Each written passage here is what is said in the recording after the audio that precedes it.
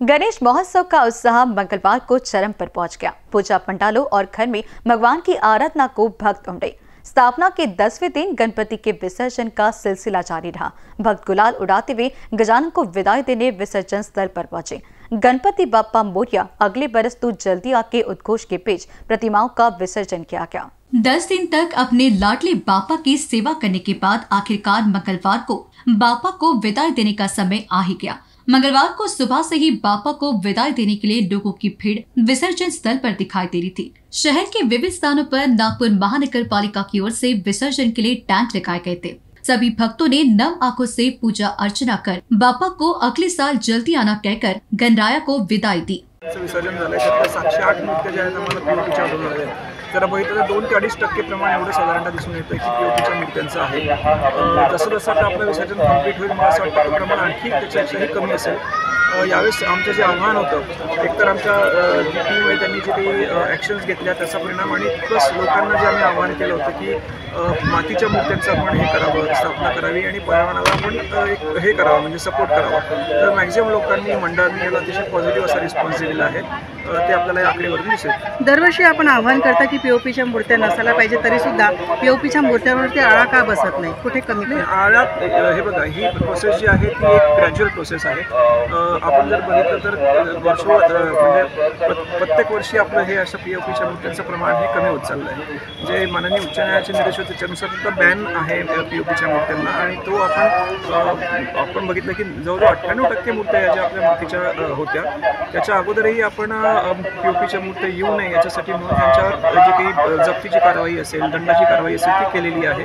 आणि वेळोवेळी आपण लोकांनाही आव्हान करतो. तर हा एक मला असं वाटतं की उलट खूप चांगला जर आपण अ, पूर्ण महाराष्ट्रामध्ये हा जर बघितलं तर एक आपलं असं महानगर असेल की ज्याच्यामध्ये खूप मोठ्या प्रमाणामध्ये आपण पी ओ पीच्या अ, हे करू शकलो. त्याचा रोखू शकलेलो आहे आणि मातीच्या मूर्त्यांवर आपलं पूर्ण शिफ्ट झालेलं आहे. यावर्षी काय जाणवलं आपल्याला?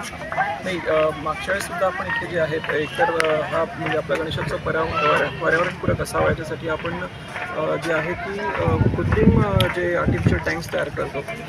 कुठे नैसर्गिक तलावामध्ये किंवा वॉटर बॉडीमध्ये आपण त्याचं विसर्जन करत नाही हा एक महत्त्वाचा मुद्दा असतो. ते अनेक साला म्हणजे गेल्या काही वर्षांपासून आपण ती प्रोसेस करत आहोत. प्रत्येक वेळेस आपण याच्यामध्ये काही ना काही इम्प्लिमेंट करत असतो. तर मागच्या वेळेस आपल्या ज्या सु- सुविधा होत्या त्यापेक्षा थोड्या आता अधिकचे आपण जे तलाव आहेत हे यावेळेस इथे उपलब्ध करून दिलेले आहेत. थोड्या मोठ्या साईजचे तलावसुद्धा अवेलेबल केलेले आहेत. त्या ठिकाणी आपली सुसज्ज अशी कंट्रोल रूम असेल किंवा आपली पिण्याची पाण्याची व्यवस्था असेल लाईट्स आणि सफाईसाठी आपले कर्मचारी आहेत ते व्यवस्थित नियुक्त केलेले आहेत. आणि प्रत्येक अशा आपले गणेश विसर्जनाचे जे स्पॉट्स आहेत साधारणतः आपण चारशे एकोणावीस टँक्स पूर्ण शहरामध्ये लावलेले आहेत. त्या ठिकाणी अगदी आदरपूर्वक जे निर्माल्य कलेक्ट व्हावं त्याची व्यवस्थित पुढे विल्हेवाट हे करावी शास्त्रोक्त पद्धतीने त्याच्यासाठी सुद्धा आपण सुविधा ज्या आहेत त्या सगळीकडे उपलब्ध करू. प्रत्येक म्हणजे ह्या एकदा विसर्जन झालं किंवा तो टँक फुल झाल्यानंतर आपण त्याला प्रॉपर कव्हर करून ठेवतो आणि त्याचं व्यवस्थित आपल्याला क्लिनिंग करावं यासाठी आपण वेगळी टीमसुद्धा जी आहे ती नियुक्त केलेली आहे जी आपली पूर्ण नाईट शिफ्टमध्ये जी आहे ती काम करते. कधी कधी या पूर्ण दिवसभराच्या याच्यामध्ये आपली पूर्ण एंगेज असल्यामुळे काही वेळेस दुसऱ्या दिवशी सुद्धा होऊ शकतं. परंतु पूर्णतः जे आहे एक मान सन्मान ठेवून ज्या पद्धतीने केलं पाहिजे आणि व्यवस्थित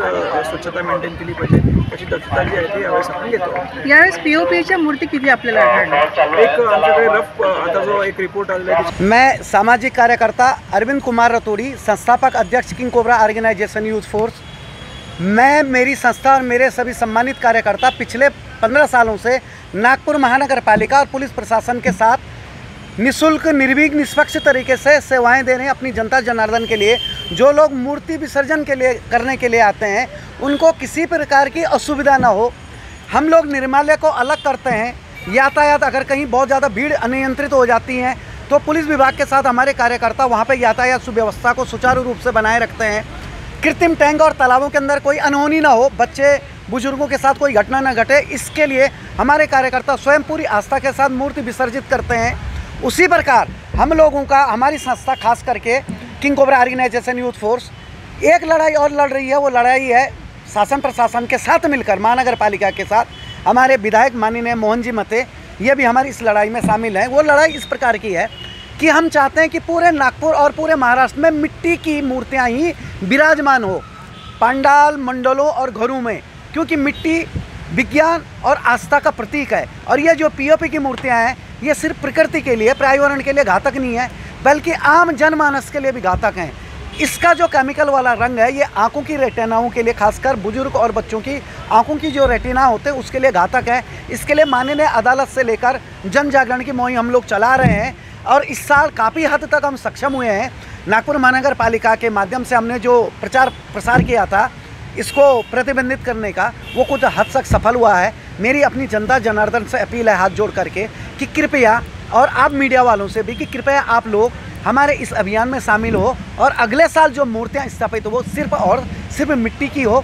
हमारा नागपुर शहर कचरा मुक्त हो, प्लास्टिक मुक्त हो पीओपी मुक्त हो, और स्वच्छ, सुंदर, सुरक्षित नागपुर आपका, मेरा, इनका, उनका नहीं, हम सबका हो। जय हिंद, वंदे मातरम, गणपति बप्पा मोरिया।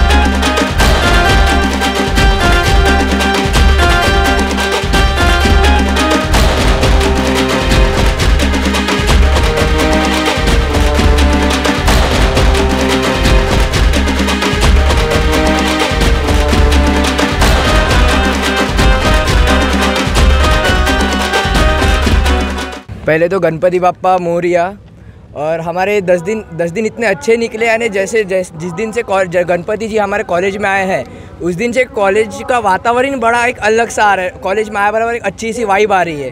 पहले आते हैं यहाँ पे, पहले एक मंदिर में यानी मंदिर में जैसे पूजा होती है, वैसे हमारे कॉलेज में पहले एक पूजा हो रही है। फिर प्रसाद लेके सबको अपने अपने क्लास में क्लास में क्लासेस हो रहे हैं प्रैक्टिकल वगैरह सब कुछ हो रहे। हैं उसके बाद उसके बाद यानी फिर से एक आरती होती है और उसके बाद सब अपने घर घर जाते हैं। तो एकदम अच्छा लग रहा है। दिन में दो दिन दिन में दो टाइम आरती होती है गणपति बापा की। गणपति बापा के रोज़ दर्शन होते हैं। तो बहुत अच्छा लग रहा है। ना ऐसा लगता है ये टाइम कभी ख़त्म ही ना हो। तो बस वैसे ही दस दिन निकले। बड़ी मस्ती से कॉलेज में इवेंट्स हुए स्पोर्ट्स लिए हैं डांस हुए हैं और है ऐसे बहुत कुछ हुए हैं। हम लोगों ने ये फ़र्स्ट टाइम हम लोगों के कॉलेज में गणेश जी बिठाया था। और आप मानोगे नहीं पूरे बच्चों ने बहुत हर्षोल्लास के साथ ये गणेश जी मनाया। बहुत अच्छा वातावरण रहा। और मैं चाहता हूँ कि हर साल ऐसा ही वातावरण हमारे कॉलेज में रहे और गणेश बापा की कृपा हमारे कॉलेज हमारे बच्चे हम सभी पे रहे। आप सभी को गणेशोत्सव की शुभकामनाएँ। धन्यवाद। गणपति बापा मोरिया अगले बरस तू जल्दी आना। इस संदेश के साथ यहाँ सब विसर्जन करने के लिए गणपति को विसर्जन करने के लिए आ रहे तो जानते हैं कि इन दस दिनों में इन्होंने कैसे पूजा अर्चना की? नमस्कार।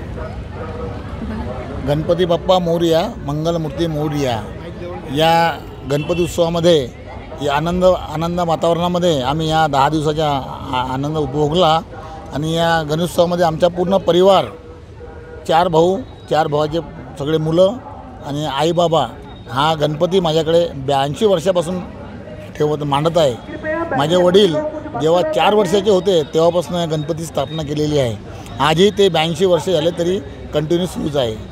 इनमें से न्यूज़ के लिए नयन के साथ अभिषेक पांसी और भाग्यश्री वितोंडे की रिपोर्ट।